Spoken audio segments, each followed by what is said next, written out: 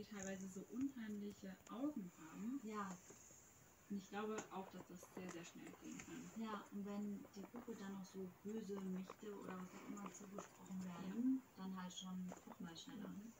Andererseits haben das ja schon echt viele Leute gesehen. Ja, Ja, ich weiß nicht, also ich bin da total hin und her gerissen. ja, ich auch.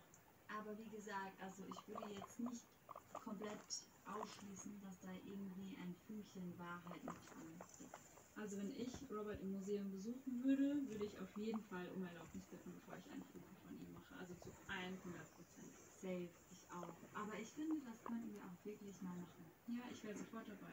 Und dann können wir auch gleich noch im Artist House übernachten, wenn wir schon mal da sind. Das ist echt gut. Vielleicht finden wir auch den einen oder anderen mutigen oder die ein oder andere mutige aus unserer Community, die uns dann begleitet. Ja, Dann allerdings. sind wir nicht ganz alleine. Mhm.